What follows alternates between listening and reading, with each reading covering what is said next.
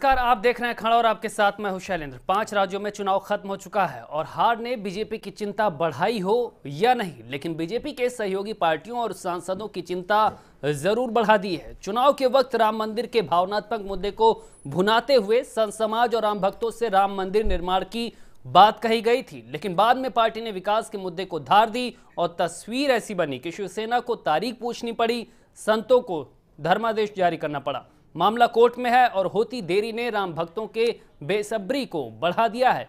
जनता के सामने जवाब की ज़िम्मेदारी का ये दबाव अब कितना है? इसे इस बात से समझा जा सकता है कि मंगलवार को जब बीजेपी संसदीय दल की बैठक हुई तो उसमें गृह मंत्री राजनाथ सिंह ने मामले पर भले ही धैर्य रखने की बात कही हो, पर सांसद हरिनारायण राजभर ने सरकार से सीधे पूछ लिया कि आखिर मंदिर कब बनाओगे?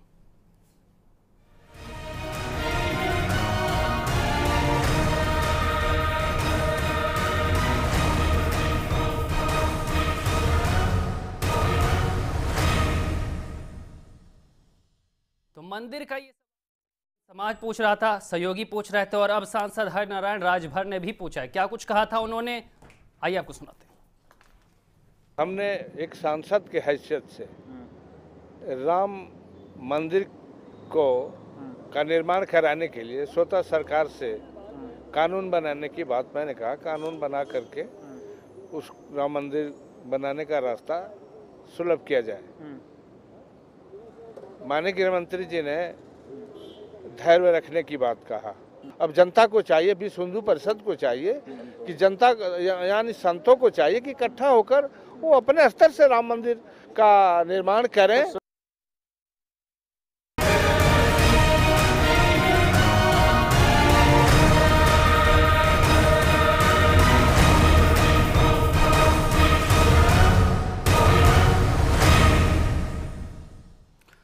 इसी मुद्दे पर आज का खड़ा और इसके लिए हमारे साथ तमाम मेहमान जुड़े हुए हैं। सबसे पहले उनका परिचय आपसे करा देते हैं। हमारे साथ सपा नेता मनोज यादव जुड़े हुए हैं। मतीन खान, अध्यक्ष मुस्लिम लीग भी हमारे साथ स्टूडियो में मौजूद हैं। अमरनाथ मिश्रा, अध्यक्ष अयोध्या सद्भावना समिति हमारे साथ जुड़े हैं और साथ ही अशोक सिन्हा जी संघ विचारक के तौर पर हमारे साथ मौजूद हैं और थोड़ी देर में ओपी मिश्रा, बीजेपी प्रवक्ता भी हमारे साथ जुड़ेंगे। शुरुआत करेंगे। अशोक जी, आपसे मानस में तुलसीदास जी ने लिखा है धीरज धर्म मित्र और नारी आपतकाल परखियों चारी। धीरज जवाब दे रहा धर्म की बात है और सहयोगी सवाल पूछ रहे क्या स्थिति इस तरह की बन गई है? राम मंदिर का प्रकरण कोई सांप्रदायिक प्रकरण नहीं है। जी। किसी मज़हब से संबंधित नहीं है रिलीजन से संबंधित नहीं है। वह एक राष्ट्रीय अस्मिता का प्रश्न है। और राष्ट्र में राम मंदिर बने यह पूरा राष्ट्र चाहता है। ऐसे परिप्रेक्ष्य में फिर सरकार क्यों नहीं चाह रही? सरकार से क्यों सांसदों को पूछना धीरज पड़ रहा? धीरज रखिए जो बात कही गई है। जी। उसका सरकार के बारे में हम जानते हैं उनकी मजबूरी क्या है। अभी आप धीरज रखने की की बात कर रहे हैं मोहन भागवत कह रहे हैं कि देर से मिला न्याय न्याय नहीं होता है। ऐसा क्यों? दो दोहरी स्थिति क्यों? योगी जी भी कह रहे संघ का मानना यह है कि यह सबसे उपयुक्त समय है जब राम मंदिर के लिए समस्त प्रयास किए जाने चाहिए। संघ प्रयास भी कर रहा है कि पहले चार साल क्यों नहीं उपयुक्त समय था? अब चुनाव के समय क्यों ये उपयुक्त समय हो गया?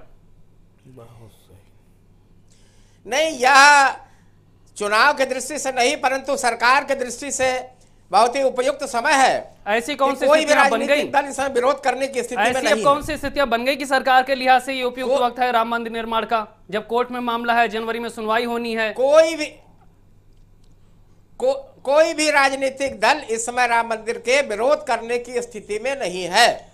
यदि सरकार रास्ते को साफ़ करती है और कानून लाती है तो किसी भी दल की तरफ़ से विरोध नहीं होगा। अमरनाथ मिश्रा जी इसलिए यह तरह की बात अब सामने आ रही है सांसद खुलकर पूछ रहे हैं सवाल कि आखिर मंदिर कब बनेगा ये स्थितियाँ बनी कैसे? अभी जो सांसद लोग पूछ रहे हैं सब यह संपूर्ण राष्ट्र से जुड़ा हुआ प्रश्न है हर आदमी पूछेगा। जी अमरनाथ जी अब बताइए। ये जो लोकसभा के सदस्यों की बात आप कर रहे हैं चर्चा कर रहे हैं जी। तो ये सब गए तो हमारे आपके बीच से ही है। जी। मगर अब इतनी चार साल तक शांत रहे वही अब तीन राज्यों में परिणाम आ गए तो सवाल पूछना शुरू कर दिया क्योंकि लगता है कि फिर उनको जनता के बीच जाना है भावनात्मक मुद्दा उठाना है जवाब देना है राम मंदिर पे। संसद सदस्यों की तरफ़ से भी एक त्रुटि हुई है कि पौने पाँच साल बीत जाने के बाद अब उनको होश आया। हमें ऐसा लगता है कि जो संसद सदस्य हैं भारतीय जनता पार्टी के जी। उन्होंने पौने पाँच साल कुछ किया नहीं है। अब उनको ऐसा लगता है कि राम मंदिर के लिए अध्यादेश आ जाएगा विधेयक आ जाएगा मंदिर बनने लगेगा और हम चुनाव जीत के आ नहीं तो सांसद भी सरकार का हिस्सा है वो भी जाना है सारी स्थितियाँ। फिर अचानक से सवाल उठाना दबाव बनाना आखिर सबके मायने क्या है? नहीं तो हम बता तो रहे हैं आपको इन लोगों ने अपने क्षेत्रों में किसी प्रकार का कोई काम किया नहीं है जनता के बीच में पौने पाँच साल गए नहीं हैं। अब इनको ऐसा लगता है कि राम मंदिर के लिए विधेयक आएगा और हम राम मंदिर की बनने की लहर में दोबारा चुनाव जीत के आ जाएँगे। मगर ऐसा होना नहीं है क्योंकि नवासी में बानवे में चौरानवे में 2010 में और 2018 में इतने सुप्रीम कोर्ट ने स्टे दे रखे हैं। जब तक वो स्टे वैकेट नहीं होते हैं तब तक आपके कोई भी विधेयक लाने से आपके अध्यादेश लाने से मंदिर का काम इतनी जल्दी हमें नहीं लगता कि शुरू होगा। मतीन खान साहब आपको क्या लगता है जिस तरह से सांसद दबाव बना रहे हैं अभी तक विकास की बात हो रही थी लेकिन जैसे ही नतीजे आए वैसे ही अब फिर लगता है उनको कि राम मंदिर को लेकर उनको जनता के बीच जाना है जवाब देना है इसलिए दबाव बढ़ाया जा रहा? हाँ बड़े भाई अमरनाथ मिश्रा जी ने अभी जो बात बताई है बिल्कुल फैक्ट है ये। इसमें कोई भी रद्दोबदल या कुछ वो नहीं किया जा सकता। वो बुनियादी तौर पर लेकिन अशोक जी तो कह रहे हैं कि धैर्य रखना चाहिए। संघ अभी पहले कह रहा था कि देर से मिला न्याय न्याय नहीं होता और फिर अब इस तरह की धैर्य रखने की बात। संतुलन भी बना रहे हैं असंतुलन भी। देखिए अब मैं संघ के बारे में क्या कहूँ? बुनियादी तौर पर देखिए जो लोग जब देश आज़ाद हो रहा था लड़ाई चल रही थी उस वक्त अंग्रेज़ों ने एक पॉलिसी बनाई थी डिवाइड एंड रूल की पॉलिसी बनाई थी। और उसमें ये बेवरेज थे उन्होंने ये बात इसको ये एक इशू लेकर के आ गए थे सिर्फ़ राम जन्मभूमि को कि वहाँ पर हो सकता है कि वहाँ पर श्री राम जी जो है पैदा हुए हैं। बस उसी को लेकर के धीरे धीरे अभी 89 से पहले तक के कोई पॉलिटिकल प्रॉपरली इशू नहीं रहा ये। जी। 89 में जो मंडल कमंडल के बाद जो है फिर ये जो है सिलसिला बन गया और रथ यात्रा ये तुम्हें माहौल बना करके इन्होंने पॉलिटिकल एक गमला बना लिया कि उस गमले को जो है दिखा करके और लोगों के भावनाओं को जो है कैश करके हम सत्ता में आ तो ये भी हैं कि राष्ट्रीय अस्मिता का प्रश्न है। अब राष्ट्र में तो संवैधानिक संस्थाएँ भी हाँ, हैं बहुत सी दूसरे समुदाय भी हैं उनकी भी हाँ, भावना तो है। अब इनको खुद मुहासबा करना चाहिए ये कहाँ से हैं और क्या कर रहे हैं इनका योगदान देश की आज़ादी में क्या रहा है। तो ये अब कहने का तो इनका जवाब ही नहीं बनता है। अशोक जी जवाब दीजिए।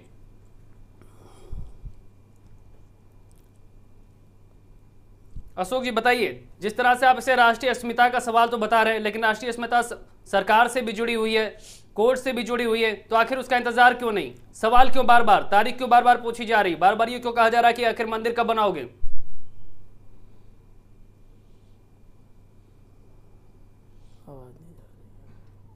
चलिए, लगता है अशोक जी से हमारा संपर्क नहीं हो पा रहा। मनोज जी जिस तरह की स्थितियाँ बनती आ रही राम मंदिर मामले पर सांसद दबाव बढ़ा रहे संत समाज दबाव बढ़ा रहा पहले विहिप और आरएसएस भी इसी तरह के कुछ रुख अख्तियार कर चुके हैं। आप इसके मायने क्या कुछ निकालते हैं? क्या माना जाए जिस तरह से परिणाम आए नतीजे हैं उसके बाद दबाव बढ़ गया है बीजेपी पे? मैं इस डिबेट में मंदिर बनवाने नहीं आया हूँ। जी। मैं सीधा और एक ही बात कहने आया हूँ और वो ये है कि माननीय जो सांसद जी हैं बीजेपी के उन्होंने जो ये बयान दिया है कि मंदिर बनना चाहिए। नहीं वो तो ये भी कह रहे हैं कि जनता ने ही वहाँ पर सब कुछ किया था और जनता को ही निर्माण कर देना चाहिए। बिल्कुल। अब देख लीजिए संसदीय प्रक्रिया में शामिल व्यक्ति जिसने हमारे संविधान की शपथ ली हो और वो इस तरह की गैर संवैधानिक बात कर रहा है। क्या ये ये लाइन जस्टिफाई की जा सकती है? क्या ये गैर कानूनी बात नहीं है कि जब जो हमारा काम होना चाहिए वो संवैधानिक परत होना चाहिए? तमाम सारी चीज़ें अभी हाँ, अमरनाथ मिश्रा जी ने बताई हैं। मैं उनमें भी नहीं जाना चाहूँगा क्योंकि उनको इस केस के मामले में बहुत जानकारी है और कहाँ से कैसे क्या हो सकता है वो पता है। मैं आरएसएस को जवाब देना चाहूँगा। आरएसएस ये जान ले कि इस देश का कोई भी व्यक्ति भगवान राम के मंदिर के खिलाफ नहीं है। फिर वो चाहे मुसलमान हो हिंदू हो सिख हो ईसाई हो वो बात सिर्फ़ उस जगह की है उतनी जगह की है। उसके लिए फैसला है कोर्ट जो करेगा वो इस देश के सभी लोगों को मान्य होगा एक महत्वपूर्ण बात। दूसरी कि मैं इन सांसद महोदय को फ्री में एक सलाह दूँगा। इनको जनता ने इसलिए चुना था अमरनाथ जी ने भी वो बात बड़ी अच्छी कही। नहीं और मैं भी कह रहा नहीं हूँ बात नहीं, इससे नहीं, नहीं, शिवसेना भी तारीख पूछ चुकी है अरे देखिए साहब रोटी सब सेक रहे हैं। रोटी वो सब सेक रहे हैं। चिंताएँ क्यों राम के नाम पे ही रोटी सिकेगी जानते हैं क्यों? उसके अलावा कुछ नहीं बचा है। पाँच साल आपने सिर्फ़ जुमलेबाजी करी है। अगर इन सांसद को इतनी ही चिंता है तो अपने क्षेत्र के तमाम समस्याओं के बारे में आज टीवी पे कह रहे होते और मोदी जी से लड़ रहे होते कि हमारे क्षेत्र में आपने काम नहीं कराया हमारे क्षेत्र में आपने ज़्यादा पैसा विकास का नहीं दिया। मुख्यमंत्री जी से लड़ाई उनकी हो रही होती कि आपने हमारे क्षेत्र के लिए हमारे ज़िले के लिए आपने अभी तक कोई काम नहीं किया है। ये रियल जो एक वर्क है किसी सांसद का वो है। वो स, अपने वर्क से अलग जा चुके हैं। मैं आपको एक पेपर की कटिंग दिखा रहा हूँ पढ़ के मैं हतप्रद हूँ। छह महीने में लखनऊ में 2800 सड़क हादसे हुए। ये मैं नहीं ये आज का पेपर कह रहा है और एक बड़ा पेपर कह रहा है जिसको शायद मेरे ख्याल से लखनऊ नहीं हिंदुस्तान में सबसे ज़्यादा पढ़ा जाता है। अब ये बताइए क्या किसी सांसद महोदय को इसकी चिंता नहीं है? कि छह महीने में इतना क्यों बात एक्सीडेंट हो गया? बात ये कि राम इस मंदिर बात को लेकर अचानक से करते चिंताएँ हैं? क्यों बढ़ गई? मतीन खान साहब आपको क्या लगता है? अचानक से इन चिंताओं के पीछे क्या हो है? अभी तक सबका साथ सबका विकास की बात की जा रही थी और अब राम मंदिर एजेंडे को इतनी धार दी जा रही है। तारीख पूछी जा रही है। ये सिर्फ- सीधा सवाल हो रहा। सीधा सीधा अब आम जनता भी समझ गई ये सब पॉलिटिकल इशू है सिर्फ़। सियासी रोटी कौन बना रहा है इसे भाजपा बना रही है भाजपा की हर कोई बना रहा है अपने- अपने हिसाब से। सारे लोग जो भाजपा आरएसएस और ये जो लोग हैं विश्व हिंदू परिषद सब भाजपा के लिए काम करते हैं और बिल्कुल अलग एलान काम करते हैं। ये सिर्फ़ इन्होंने एनालाइज किया है पूरे भारत के अंदर कि अगर शोषित दबे कुचले कमज़ोर लोग अल्पसंख्यक लोग अगर ये यूनाइट हो गए तो हमारा पत्ता साफ़ हो जाएगा। तो लिहाजा अब ये इशू बचा हुआ है लिहाजा इसको जितना भुना सको चाहे किसी सांसद की बलि चढ़ाना पड़े तो वो भी चढ़ा रहे हैं इसी तरह से चढ़ा रहे हैं वो संविधान को जो है सीधे सीधे चैलेंज कर रहे हैं तो बाबरी मस्जिद के नाम पे आप भी तो सियासत कर रहे हैं आप क्यों नाम तो बाबरी मस्जिद तो का हर लेते हैं आप क्यों कर रहे हैं? अपने अपने वोट पूरा आप क्यों कर रहे हैं? देखिए। सियासत कर रहा। आप लोग क्यों कर रहे हैं ये बताइए पूरा के पूरा मामला ये टाइटल सूट है सब जानते हैं तो। जानते हैं। हम, मतलब ये क्यों कह रहे हैं? सियासत तो आप लोग भी कर रहे हैं। भाजपा के लोग सिर्फ़ राजनीति कर रहे हैं नफरत फैला करके। कांग्रेस नहीं कर रही है? और पार्टियाँ नहीं कर रही भाजपा के अलावा बाबरी मस्जिद को लेकर रूलिंग पार्टी वही है उन्हीं के ज़रिए से बयान आ रहे हैं। कांग्रेस पार्टी ने तो कहा था बाबरी मस्जिद हैं, बनवाएँगे। वो कानून को जो है धज्जियाँ उड़ा रहे हैं। कौन धज्जी उड़ा रहा है? भाजपा के तो वो लोग तो ये भी कह रहे कि हैं। कांग्रेस की वजह से देरी हो रही वो तो ये भी कह रहे कि अगर अध्यादेश लाएँगे तो सही कह रहे हैं। वो सही कह रहे हैं कांग्रेस की वजह से देरी हो रही है। कांग्रेस क्या कोर्ट की अदालत के अंदर पार्टी है? कांग्रेस पार्टी नहीं है सिर्फ़ ये एक मामला है कि साहब मंदिर वहीं बनाएँगे और मंदिर और तारीख जो है राहुल बताएँगे इस तरह जुमलेबाजियाँ हैं ये सिर्फ़। ये एक माहौल को क्रिएट कर रहे हैं कि हमारे लिए किसी तरह से एक जैसे चौदह में माहौल था वो माहौल बन जाए। अब वो माहौल आने वाला नहीं है। यहाँ देश का आम हिंदू समझ गया कि देश संविधान से चलेगा कानून से चलेगा। जो कानून में मामला सुप्रीम कोर्ट में जब वहाँ फैसला आएगा तो जो वो फैसला अमरनाथ आएगा, जी आप लंबे समय से पूरे मामले को देखते आए अगर ताज़ा स्थितियाँ समझी जाए तो सरकार के सामने आप किस तरह के विकल्प देख रहे हैं? क्योंकि सांसद लगातार दबाव बना रहे हैं सहयोगी लगातार दबाव बना रहे हैं मामला कोर्ट में है। देखिए सरकार के पास सबसे बड़ा विकल्प ये है कि सरकार आज आखिर चिंताएँ दूर कैसे करे सरकार? सरकार अगर आज चाहे तो अपने सॉलिसिटर जनरल ऑफ़ इंडिया को वो बोल दे कि सुप्रीम कोर्ट में राम जन्मभूमि का जो विषय है उसकी तारीख जल्दी लगवाई जाए, उसकी सुनवाई जल्दी से जल्दी की जाए। एक, पक्ष तो ये है। दूसरा पक्ष ये है कि अटल बिहारी वाजपेयी जब प्रधानमंत्री थे तो उन्होंने एक अयोध्या सेल बनाई। अयोध्या सेल बना के उन्होंने राम जन्मभूमि से जुड़े हुए सारे हिंदू मुसलमान पक्षकारों को बुलाते थे। सबसे वो बात करते थे। 2011 में मनमोहन सिंह की सरकार ने अयोध्या सेल को खत्म कर दिया। अभी हमने कई पत्र लिखे मोदी सरकार को कि अयोध्या सेल का पुनर्गठन किया जाए और सारे हिंदू मुसलमान पक्षकारों को बात बुला के बात की जाए।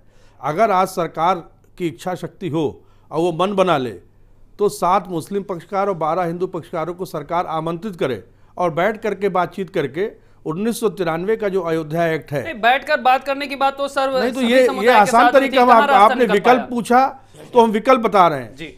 विकल्प पूछा सरकार की बहुत बड़ी ज़िम्मेदारी होती है पूरे देश में शांति व्यवस्था कानून व्यवस्था बनाए रखने की। और जहाँ तक संविधान की रक्षा की बात है सरकार की ज़िम्मेदारी है संवैधानिक रूप से काम करने की। सरकार आज चाहे एक घंटे के अंदर सारे पक्षकारों को इकट्ठा करके बातचीत करके कोई ना कोई एक रास्ते निकाल करके और मंदिर निर्माण के लिए आगे बढ़ सकती है। अशोक सिन्हा जी। अभी संत सभा धर्मादेश जारी कर रहा था। आप भी कह रहे थे कि पूरे देश में राम मंदिर को लेकर माहौल बनाएँगे। शीतकालीन सत्र में या तो बिल आएगा नहीं तो अध्यादेश आएगा। अब यहाँ पर धैर्य की बात सामने आ रही। क्या स्टैंड होगा आरएसएस का? नहीं मैं समझता हूँ कि धैर्य तो हम पिछले 500 वर्षों से रखे हुए हैं और अनेक जाने लेकिन तेज़ी तो इन्हीं पाँच दिनों में दिख रही है। प्राणाहुति दी। परंतु इस समय अनुकूल वातावरण है ये कैसे रहा अनुकूल क्या चीज़ अनुकूल हो गई? सभी तो राजनीतिक में दल। अभी तो कुछ ऐसा डेवलपमेंट भी नहीं हुआ। फिर ऐसे कैसे माहौल अनुकूल हो गया? क्या तीन राज्यों के नतीजों जिस तरह से पाँच राज्यों के चुनावी नतीजे हैं उन्होंने स्थितियाँ अनुकूल कर दी फिर से राम मंदिर मुद्दे को धार देने के लिए? देखिए सरकारें तो आती जाती रहती है और मंदिर सरकार को नहीं बनाना है। मंदिर बनाने के लिए जो बाधाएँ हैं वो सरकार दूर करेगी। और अमरनाथ जी ने बहुत सही कहा कि सरकार अगर चाह जाए बिना सरकार के सहायता से इतना बड़ा कार्य जो है वो प्रारंभ होने में थोड़ी दिक्कत आ सकती नहीं है। तो सरकार की तो समाज कर तो देगा भी हैं। मगर कई कानूनी की तो संवैधानिक मजबूरियाँ भी हैं उनको दूसरे समुदायों को भी देखना है। फिर ऐसा दबाव बनाने से क्या होगा? इस समय तो सभी समुदाय चाहते हैं कि राम मंदिर बने रामलला के जन्म स्थान पर। फिर कोर्ट के बाहर रास्ता कोई क्यों नहीं निकल पाया? समुदाय विरोध नहीं कर रहा है। के बाहर रास्ता क्यों नहीं निकल पाया? मुस्लिम माहौल पर्सनल बनाने की ज़रूरत पड़नी पड़ी। फिर आप ये क्यों कहते हैं कि हमको पूरे देश में माहौल बनाएँगे राम मंदिर को लेकर? अगर सभी समुदाय वाले चाहते हैं तो। अगर कोर्ट के बाहर रास्ता तलाशा जा चुका है तो आखिर ये स्थितियाँ क्यों अगर कोर्ट कहती है कि हमारी प्रायोरिटी ये नहीं है सरकार कहती है कि धीरज रखिए तो आप दबाव बना के मजबूर होकर तय जन आंदोलन तो खड़ा ही करना पड़ेगा। जी। क्योंकि असली जनता तो जनता जो है संत समाज जो है यही असली मालिक है। और इन्हीं के लिए देश का संविधान बना है इन्हीं के लिए कोर्ट बना है। नहीं संत समाज के साथ साथ दूसरे समुदाय भी तो हैं। राष्ट्रीय की परिभाषा में संत समाज कैसे तय कर लेगा? अब हिंदू समाज को को संत समाज को दूसरी मांग करने लगे कि तो सारे मुद्दे क्या संत समाज के हिसाब से चलेंगे। भावनाएँ अपनी जगह है सरकारी सिस्टम अपनी जगह है संवैधानिक संस्था अपनी जगह है। फ़िलहाल तो संत समाज ये मांग रहा है आपका क्या स्टैंड है? ये बताइए। संघ का क्या स्टैंड है? मंदिर बने। संघ का क्या स्टैंड है? आप ये बताइए। यह राष्ट्रीय मसला है? संघ का स्टैंड यही है कि यथाशीघ्र राम मंदिर बने। जी। रास्ते क्या आप देखते हैं सरकार के सामने फिर? अभी तो धैर्य की बात कर रहे हैं फिर यथाशीघ्र की भी बात कर रहे हैं। धैर्य और यथाशीघ्र दोनों एक साथ कैसे? वो का वो कानून बनाए और कानून बना करके मार्ग प्रशस्त करें। मतीन खान साहब। और डे टू डे सुनवाई के लिए वह दबाव बातें कहेंगे? मतीन खान साहब एक बताइए। तरफ़ कह रहे हैं डे टू डे सुनवाई और एक तरफ़ कह रहे हैं कानून विचारक जी अशोक सिन्हा जी बहुत दानिश्वर आदमी है इनको समझना चाहिए टाइटल सूट का मैटर है सीधा सीधा मैटर है वहाँ चल रहा है सुप्रीम कोर्ट में थोड़ा वेट कर ले। नहीं एक तरफ़ वेट करने की बात भी हाँ, कर रहे हैं। संत समाज तय करेगा। सरकारों को जो है धमकी दे रहे हैं और ये कर रहे हैं वो कर रहे हैं यही माहौल बनाने की बात है। ये माहौल बना रहे भाजपा के लिए। सूट का मसला है तो आप ये बताइए कि सपा दो भागों में बट गई हाँ। और अभी मान्यता अगर उसकी नहीं मिलती देर से मिलती तो हाँ। क्या आप प्रयास तो नहीं करते? आप सपा का मामला अलग है। नहीं करते। सपा का मामला अलग है पार्टियों का? मामला अलग है? आस्था का मुद्दा था ये। चार साल से आपने तो विलंब किया जिसकी वजह से ये स्थितियाँ बनी। राम मंदिर हमारे आस्था का मनोज यादव जी विधायक जी अलग हो गए पार्टी सपा दो भागों में बट गई हमारी आस्था का मसला है। आपकी आधी हर बीजेपी कीमत पर वहाँ पर दूसरी वाली सपम चली गई। आपको पता भी नहीं है शायद। मुझे कहना नहीं चाहिए था। लीजिए। हाँ मैं आपको बता रहा हूँ। आप भगवान आप- राम की जब डिबेट तो किया करिए आप भी तो हमारे भगवान हो। राम पे कॉन्सेंट्रेट किया करिए। राम जी आपको माफ़ नहीं करेंगे। क्योंकि आप राम जी की डिबेट में सपा के दो भाग करने लगते हैं। काहे करने लगते हैं भाई? आप राम जी के मंदिर पे चर्चा करिए भगवान राम के विशाल मंदिर पे चर्चा करिए क्या उदाहरण न दे? मोदी जी से कहिए उदाहरण उदाहरण हम नहीं दे। क्या उदाहरण दे दे सकते हैं। उदाहरण किस तरीके भगवान राम को लेके और? मंदिर को लेके? दो भाग हो गए ये कौन सा उदाहरण है? ये कौन सा उदाहरण है जी? हमने ये तो थोड़ा सा मुझे ज्ञान हो मुझे सब पता है। आपने तो देश की जनभावनाओं जन भावनाओं के साथ खेला है। मंदिर के नाम पे भगवान राम के नाम पे। सत्ता तो ले ली लेकिन आपने बैठ के ना किसी पत्रकारों तो से बात करी तो गोली ना किसी किसी तरीके से लोगों को तो समझाने की कोशिश करी। कार सेवकों के Hated खून से politics है। करी। सिर्फ़ और तो सिर्फ़ गोली चलाया नफरत फैलाया। नफरत फैलाया और वहाँ गोली चला के हैं यह भी गोली चलाने का मामला बार बार क्यों सामने आ रहा? राष्ट्रीय गोली चलाने का प्रयास कर रहे ना आप बोली बताइए। मिलता तो और राम राम गोली चलाने की बात बार बार क्यों? बात बोली चलाने की ना आप स्पष्ट राय बताइए क्यों सांसद आपसे बार बार पूछना पड़ता है आपको? ओपी मिश्रा जी हमारे साथ जुड़ चुके हैं बीजेपी प्रवक्ता। ओपी मिश्रा जी आपके खुद के सांसद बार बार आपसे सवाल कर रहे हैं मंदिर कब बनाओगे? नतीजों के बाद उनको भी जनता के बीच में जाना है जवाब देना है सहयोगी पहले ही सवाल कर रहे थे। आखिर देरी क्यों? मंदिर भर काम है। इस तरह की मजबूरियाँ क्यों आपको सवाल पैदा कर रही हैं? देखिए वो केवल सांसद ही नहीं है वो एक लोकसभा के प्रतिनिधि हैं तो लोकसभा के प्रतिनिधि इस तरह की बात करेंगे क्या? वो कह रहे हैं कि अगर जनता ने उस समय सब कुछ किया था एक बार फिर जनता ही सब कुछ कर दे मंदिर बना दे। ऐसा दबाव क्यों? सांसद आप अगर बात को नहीं सुनेंगे तो हम तो फिर मैं बात नहीं बोल पाऊँगा। ठीक है, तो बोलिए। कौन होता है? ठीक है, तो मनोज जी, बाद है। ये बताइए। पहले इस पे आप चर्चा कर लीजिए इसके बाद आगे करिए। बीजेपी के लोग किस गुस्से में है आप पहले- जो पता नहीं क्या मेरी बात बोलने। दें। अभी अभी अभी जस्ट आरएसएस ने कहा कि मोदी जी कानून लाए आप नहीं बोलने देना चाहते। फिर कह रहे हैं कि डे टू डे सुनवाई करें अरे कुछ क्या भगवान राम पे इतना कंफ्यूज आप लोग हो गए हो कि आप बयान तक नहीं सही दे पा रहे हो लोकसभा का सदस्य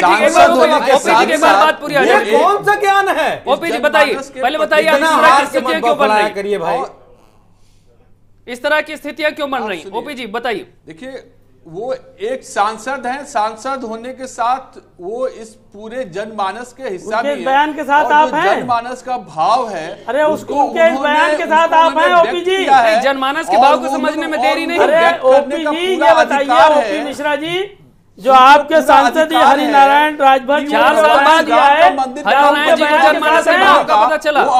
वो बात कर रहे हैं?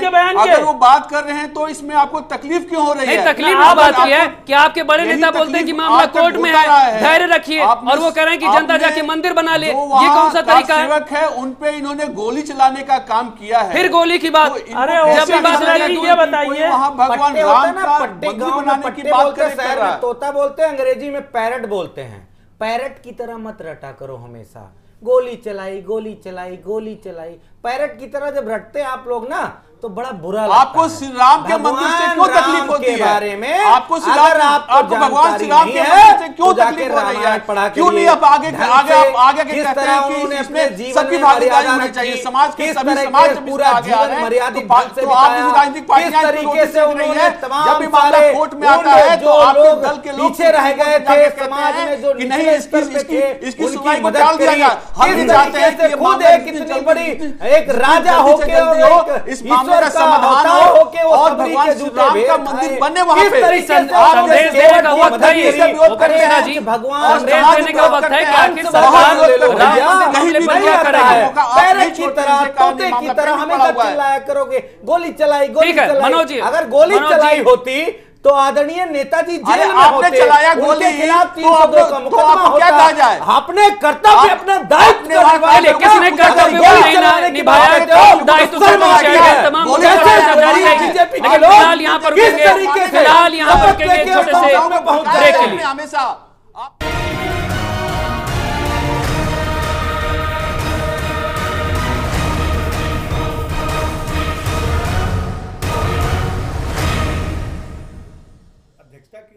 ब्रेक के बाद आपका स्वागत है और सवाल यही है कि आखिर मंदिर के मुद्दे पर सांसदों में इतनी बेचैनी इतनी बेसब्री इतनी बेकरारी क्यों? अमरनाथ जी आपसे समझना चाहेंगे बीजेपी कुछ कह रही है आरएसएस कुछ कह रही है। राम भक्त कहाँ जाए? संत समाज कहाँ जाए? और आस्था का प्रश्न है जिस तरह से लंबे समय से मंदिर बनवाने की मांग हो रही है आपको क्या लगता है? और इन ये जो तबका है इसके बारे में क्या? देखिए तबका के बारे में क्या बताया जाए मगर ये कि समन्वय की कमी है सारे हिंदू पक्षकारों हिंदू संगठनों में। अगर इनका समन्वय सही होता तो इस तरीके की स्थिति आज न बनती कि एक दूसरे के ऊपर टिकड़ा फोड़ा जा रहा है और मंदिर के नाम पे संतों को आगे करके दबाव बनाया जा रहा है। इसकी ज़रूरत ही नहीं आती, अगर समन्वय सही होता। हमें नहीं लगता कि आज तक हम लोगों ने कहीं सुना होगा कि राष्ट्रीय स्वयंसेवक संघ के सरसंघ चालक और भारतीय जनता पार्टी के राष्ट्रीय अध्यक्ष अमित शाह जी, विश्व हिंदू परिषद के चंपत राय जी की आपस में तीनों में मीटिंग हुई हो कि मंदिर के बारे में कोई चर्चा की हो। हो सकता है बंद कमरे में कभी की हो मगर सार्वजनिक तौर पे आज तक हम लोगों ने इस बात को सुना नहीं है कि सारे हिंदू पक्षकार हिंदू संगठनों को संघ ने इकट्ठा किया। जी। सबसे बड़ी आज पहली प्राथमिकता तो ये है कि हिंदू पक्षकार बारह हमारे बिखरे हुए हैं और एक दूसरे के खिलाफ सुप्रीम कोर्ट में मुकदमा लड़ रहा है। जी। अगर हम मंदिर के लिए चाहते हैं कि मंदिर बने तो हम हिंदू पक्षकारों को इकट्ठा करें हिंदू संगठनों को इकट्ठा करें।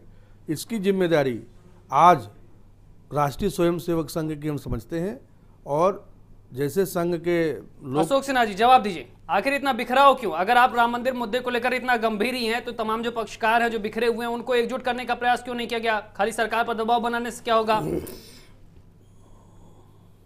राष्ट्रीय स्वयंसेवक संघ यह देखिए सारे संगठनों के राम मंदिर सारे बनाने के संगठनों के अलग अलग कार्य हैं भारतीय जनता पार्टी एक लेकिन उद्देश्य तो एक ही है ना। कार्य अलग होगा, लेकिन उद्देश्य तो एक ही है, राम मंदिर बनाना। सामाजिक आखिर निर्माण क्यों किया है इन तमाम संगठनों? संगठन है बिल्कुल देखिए सभी अपने तरीके से प्रयास कर रहे हैं संघ भी अपने तरीके से क्या तरकीब निकल के आई सामने? ओपी मिश्रा जी। प्रयास कर रहा है भारतीय जनता पार्टी का तो ये एजेंडा है कि हम पहले अशोक सिन्हा जी को बोलने दीजिए। अशोक सिन्हा जी को बोलने दीजिए, पूछा गया है। हाँ। जी बताइए। हमको उत्तर देने दे दीजिए। जी आप बताइए। आपको नहीं बोलने देगी। जब प्रश्न हमसे पूछा गया है तो हम जवाब दें उसका। जी। राष्ट्रीय स्वयंसेवक संघ यह मानता है कि मंदिर बनाने के लिए अग्रणी संस्था राम जन्मभूमि न्यास और विश्व हिंदू परिषद है। जी। और राष्ट्रीय स्वयंसेवक संघ या भारतीय जनता पार्टी उसकी सहयोगी संगठन है। जी। संत समाज जो तय करेगा और जो विश्व हिंदू परिषद तय करेगा जो राम जन्मभूमि न्यास आगे तो बढ़ेगा संत समाज तो शुरू से कहता रहा राम मंदिर के उनको क्या तय करना? उनकी तो सीधी मांग है। उनको क्या तय करना? उनकी तो सीधी मांग है तो पूरी होगी मांग उनकी। कहाँ पूरी हो समाज रही आप तो तो कभी कह रहे धैर्य रखो कभी बोल रहे संत समाज केवल संत समाज संत समाज कहीं से अतिरिक्त खून थोड़ी चाह रहा है। जी। अरे भाई उसके साथ समाज खड़ा है भारत देश खड़ा है आगे बढ़ के मंदिर बनाए। भारत देश ये कैसे डिसाइड हो गया? यहाँ पर तो मुस्लिम अपनी है। है। कोर्ट के बाहर आपने तमाम तरकीबें की कहाँ पर समस्या हल हुई? ये कैसे निर्धारित हो गया कि पूरा देश मुट्ठी भर मुस्लिम पक्ष है। जी। बाबरी मैं जवाब देखिए ऑल इंडिया मुस्लिम देखिए, बोर्ड के कुछ कट्टर फिर मुसलमान केवल चाहते हैं कि डिबेट में दूसरी बार बने। संघ के मुँह से गैर संवैधानिक बात फिर से सुन ली किसान समाज जाए और मंदिर बनाए। क्या मैं आपके बारे में अगर विश्लेषण कर दूँ सिन्हा साहब? आप भी मेरे ख्याल से संघ से जुड़ने से पहले आप सरकारी कर्मचारी थे। क्या अपना वेतन आप पंद्रह तारीख को ही निकाल लेते थे क्या? कि पहली तारीख को वेतन लेते थे? ऐसी बातें मत करिए।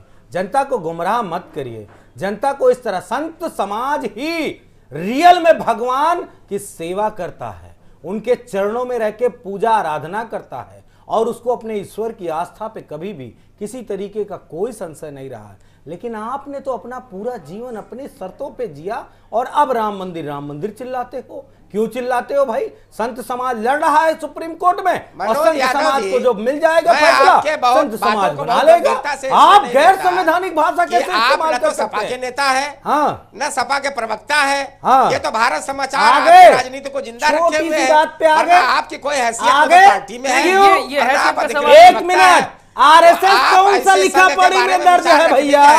आरएसएस इस देश के संविधान में कहा दर्ज है? कहाँ पे आपका रजिस्ट्रेशन है? आपकी सूद बोले तो बोले चलनिया संघ का बोले जिसमें एक लाख छेद है। एक रुपए की रसीद जिसकी मिलती हो से खारिज वो करने की संगठन हम पे आवाज़ उठाए। हैं इतनी हैसियत है। ये कैसे? ढंग से बात करा करिए। अंग्रेज़ों की चड्ढी ज़रूर नहीं समाजवादियों को आप चैलेंज मत को करना। आप बुज़ुर्ग हैं और हमेशा। संवैधानिक तरीके की बात से करा आप सांसद जी बोल सकते हैं।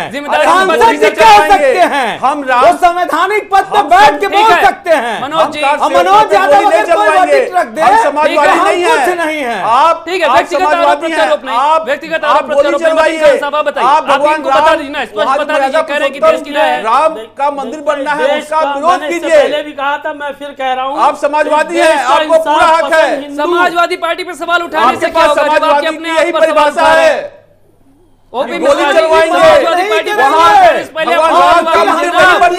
जवाब यही समाजवादी हैं आप तो यही रखिए आपको यही खान साहब को है। बोलने दीजिए। को यही है।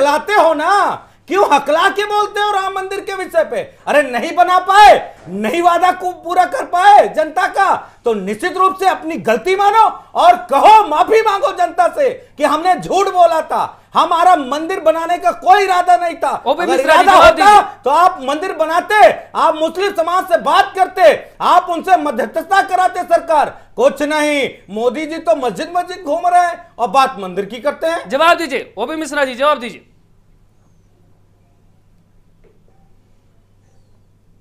ओपी मिश्रा जी जवाब दीजिए जिस तरह से यहाँ पर संदेश देने की कोशिश की जानी चाहिए थी सरकार की उस तरह से संदेश नहीं दिया गया जिसकी वजह से स्थितियाँ बनी। आपके सहयोगी सवाल कर रहे हैं आपसे अब।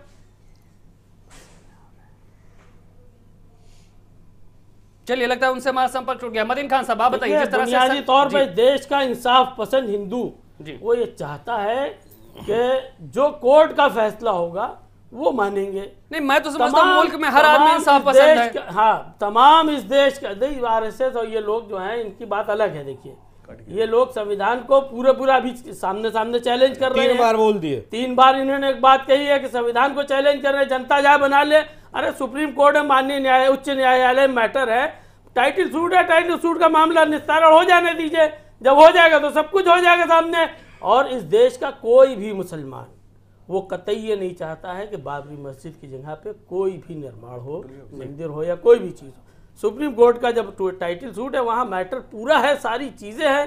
नहीं अगर मान लीजिए सरकार यहाँ अगर सरकार यहाँ पर कोई रास्ता कहाँ है बाबरी मस्जिद? अगर यहाँ आप ये बताइए हाँ बाबरी मस्जिद कहाँ विरोध क्यों कर रहे हैं? अगर सरकार कह रही है कि हम रास्ता तलाशेंगे अगर संत समाज की मांगों को पूरा करने के लिए अध्यादेश की बात करते हैं तो आप उस पर भी जो है रोड अटकाते हैं। अब आप ये देखिए जो लोग चैलेंज कर रहे हैं कि जनता जाके बनाए ये कौन सी बात है? ये संवैधानिक बात है। हमारा तो ये संवैधानिक अधिकार है कि हमारे खिलाफ कोई मामला होता है, हम अदालत जाए। जब सुप्रीम कोर्ट में मैटर चल ही रहा है तो अगर वहाँ जो भी मैटर होगा उसको सुप्रीम कोर्ट में फिर चैलेंज करेंगे। अध्यादेश कैसे आएगा? अरे जब नवासी तो में सुप्रीम कोर्ट नवासी में तो बाबरी मस्जिद एक्शन कमेटी और विश्व हिंदू परिषद का ज्वाइंट एग्रीमेंट हुआ भूमि पूजन हुआ तो आप कोर्ट क्यों गए? ये लोग ताला खुला आप कोर्ट क्यों गए? इस्माइल फारूकी क्यों गए सुप्रीम कोर्ट? ये संवैधानिक काम है क्या? कोर्ट के कहने पे अगर अवैध कुछ होता है तो आप लोग चले जाते हैं सुप्रीम कोर्ट स्टे लेने। नहीं जवाब दीजिए क्यों गए इस्माइल फारूकी कोर्ट? क्यों गए आप अदालत के अंदर जब सरकार ने हमको अड़सठ एकड़ ज़मीन मंदिर बनाने के लिए दी तो इस्माइल फारूकी क्यों सरकार ने दी। सरकार ने दिया था। आप क्यों गए सुप्रीम कोर्ट? कहाँ रहते हैं। आप कहाँ रहते हैं? क्यों कर रहे हैं? आप कहाँ रहते हैं? आप बता रहे हैं बाबरी मस्जिद कहाँ है बाबरी मस्जिद? कहाँ बाबरी मस्जिद नहीं नहीं बाबरी मस्जिद। पहले भी राम का मंदिर था आज भी राम का मंदिर है। बाबरी मस्जिद आप अल्लाह ताला का पाठ करते हैं बाबर के नाम पे एक मस्जिद का नामकरण करके। पाँच सौ साल गलत है आपको मालूम नहीं है जानकारी नहीं है? बानबे में बाबरी मस्जिद को जो है अरे मुतवली कौन था अच्छा स्ट्रक्चर चलिए मुतवली कौन है इमाम कौन है बताइए। खाली इमारत टूटी अरे आप बताइए आपका मुतवली कौन है? इमाम कौन है? कब नमाज़ पढ़ी आपने वहाँ पर बताइए। उन्नीस सौ उनचास में क्या ईशा की कहीं नहीं आपने कुछ तो करी। उन्नीस सौ कहीं कुछ नहीं एफ़ आई आर की बात है। एफ़ आई आर में लिखा हुआ है एफ़ आई आर में नमाज़ पढ़ना लिखा हुआ है। गलत कह रहे बाईस दिसंबर गलत गलत गलत। गलत कैसी आप क्या बात कर रहे हैं? जब हमें ज़मीन मिली तो इस्माइल फारूकी सुप्रीम कोर्ट क्यों गए? अब्दुल गफ्फार साहब वहाँ इस्माइल फारूकी सुप्रीम कोर्ट क्यों गए? ईशा की नमाज़ पढ़ी है। इस्माइल फारूकी सुप्रीम कोर्ट क्यों गए? कह रहे हैं कि जो कोर्ट से फैसला आएगा उसे हम मानेंगे। हाँ, कल को कोर्ट अगर राम मंदिर के पक्ष में दे तो क्या फिर आप आपके पास क्या रास्ते बचेंगे? अगर अध्यादेश लाया जाएगा तो, तो मानने वाले हैं। हमारा ऑल इंडिया मुस्लिम जब हाई कोर्ट लखनऊ ने छाछठ परसेंट ज़मीन को दी तो आपने क्यों नहीं माना? करेंगे उसको। जब छाछठ परसेंट ज़मीन राम जन्मभूमि और रामलला विराजमान और निर्मोही अखाड़े को दी गई तो आपने हाईकोर्ट के फैसले क्यों नहीं माना? सुन्नी सेंट्रल बोर्ड को नहीं दी गई क्या? तो जब आपने मस्जिद तो के जब छाछठ परसेंट ज़मीन हिंदुओं की तो बताइए आप गलत बयानी ना किया करिए अरे बिल्कुल फैक्ट वाली बात कर रहे हैं गलत आप कह रहे हैं आप कह रहे मस्जिद मस्जिद वहाँ कहाँ है? आप क्या झूठ बोल? रहा है। भाई ज़मीन नहीं मिली। और कम राम मंदिर क्या लगता है ये राजनीतिक दबाव अचानक से कैसे बढ़ गया बीजेपी में? औसंग वालों के इस तरह के बयान बीजेपी में इस तरह के बयान? देखिए एक सबसे महत्वपूर्ण बात यह है जैसा कि हमारे अमरनाथ जी ने कहा माननीय हाई कोर्ट को नहीं अमरनाथ जी तो मंदिर चाह रहे हैं ना। उनमें बुराई क्या? अगर कोई अगर चाहता है अगर आस्था के आधार पर कोई मंदिर की बात कर रहा है वो कह रहे कानूनी तौर पर भी उनका हक बनता है। तो आखिर बुराई क्या है? माननीय हाई कोर्ट ने एक हिस्सा जो दिया वो बाबरी मस्जिद का भी है। और वो अगर वो बाबरी मस्जिद के रूप में सुन्नी वक्त बोर्ड लड़ रहा है या जो भी जो भी उसके आ, लड़ने वाले लोग हैं उनको एक हिस्सा मिला है तो निश्चित रूप से उस पर कोई संशय नहीं है। एक बात दूसरी सबसे महत्वपूर्ण ये बात है बीजेपी के पास आज बताने को पाँच साल के बाद कुछ नहीं बचा है। अगर कुछ भी होता कुछ भी होता तो ये उस पर चुनाव की बात करते इनसे सांसद उसके चुनाव की बात करते लेकिन इनके पास सिर्फ़ आखिरी भरोसा राम है और राम जी का इतना अपमान हुआ है हनुमान जी का इतना अपमान है तो सबकी माता सीता का इतना अपमान हुआ है इन सबको तो निश्चित रूप से इस बात को मैं फिर दावे से कह रहा हूँ। मैं भी हिंदू हूँ मैं भी ईश्वर में आस्था रखता हूँ मैं भी पूजा पाठ करता हूँ मैं भी तमाम तीर्थ स्थलों पे जाता हूँ। मेरी भी आस्था है। मैं निश्चित रूप से एक बात जानता हूँ जो गलत करता है जो ईश्वर के साथ झूठ बोलता है उसको श्राप तो मिलता ही है उसको वो कर्म भोगने पड़ते हैं जो शायद कोई नहीं भोगना चाहता। नहीं पहले तो ये उनको भोगना पड़ेगा। पहले तो जनता को जवाब देना इनके है। लिए मैंने आज ही एक दो लाइनें लिखी वो सुनाए दे रहा। हूँ। मंदिर को लेके बीजेपी आरएसएस के लिए दो लाइनें हैं और आज ही लिखी हैं। कोशिश करो इस कदर।